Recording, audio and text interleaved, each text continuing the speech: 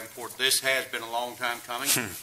Um, I would have to say that, um, without staff's cooperation and working toward getting this accomplished, as well as our delegation and the input that they had in getting this funding, um, identified, um, hopefully we'll be able to move forward with this and then be able to resolve that issue.